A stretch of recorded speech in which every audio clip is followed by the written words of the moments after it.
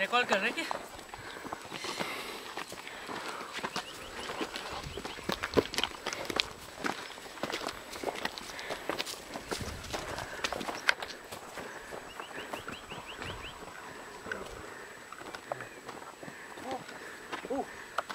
बीच में आ रहा हूँ क्या?